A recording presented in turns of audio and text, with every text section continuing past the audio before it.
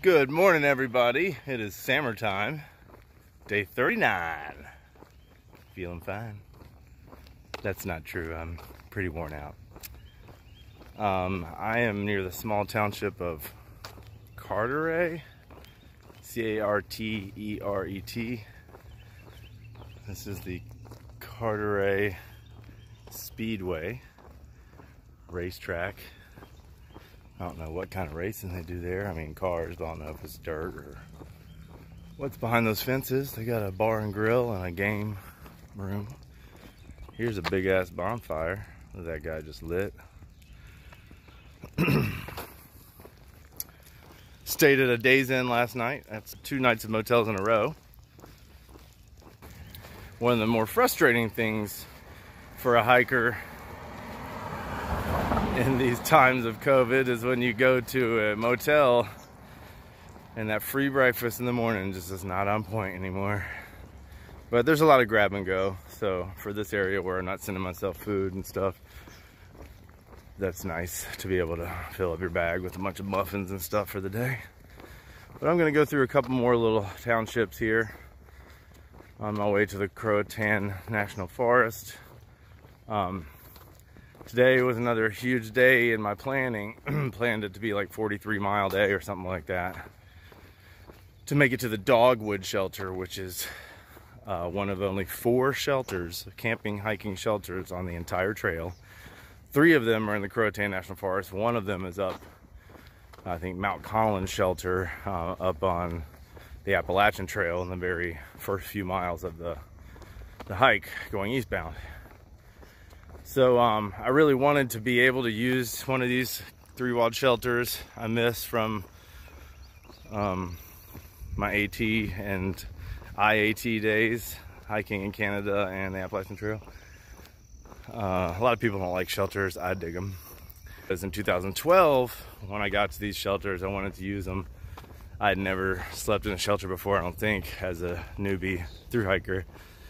And the mosquitoes were just too bad to do it. So uh, this time around, specifically in my mind, I'm packing my mosquito net. I was like, I can use this in those shelters. So I really would like to sleep in one of the shelters, um, but 43 miles in this heat on these roads, I mean, distance wise, it's doable, but it's probably not health wise wise. So, uh, may opt for another town night. There's a little motel up here. It's getting close to Memorial Day weekend though, so who knows there's vacancies, who knows how much it is.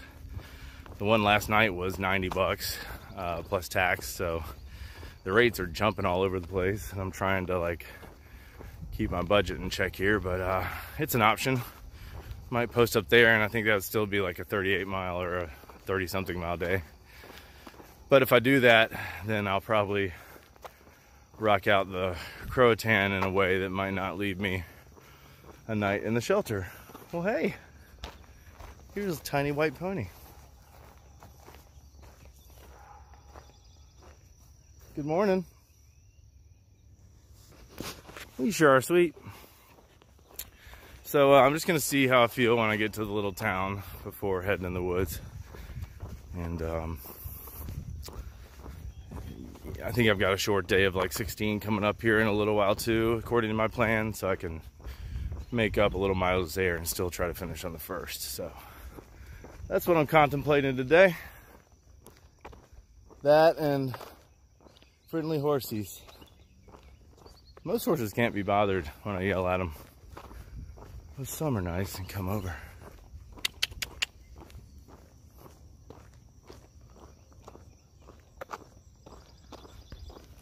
Okay, toodaloo.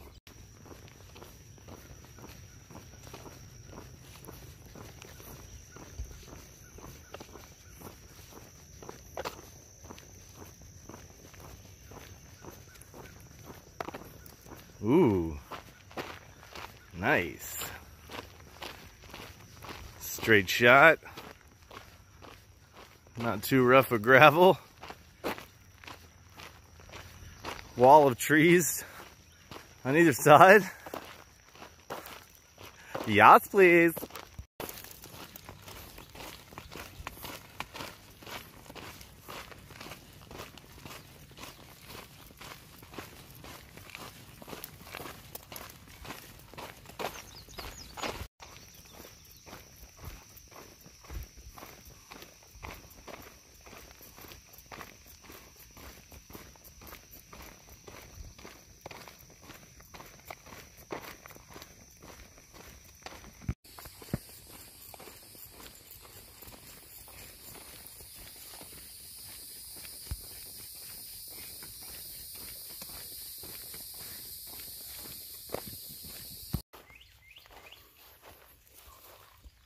A little bit like a little three foot corn snake right here. Pretty guy.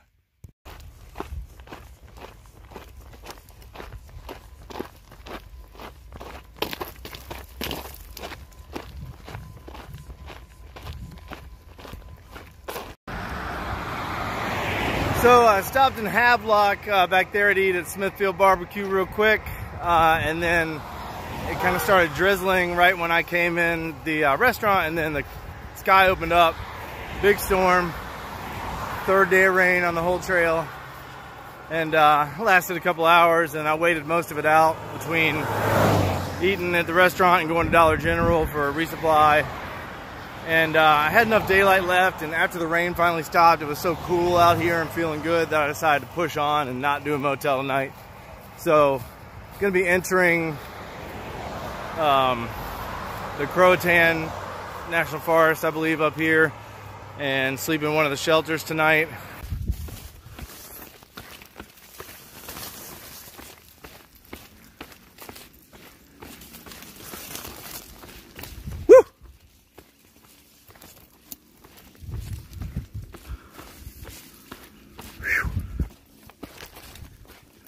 Oh man.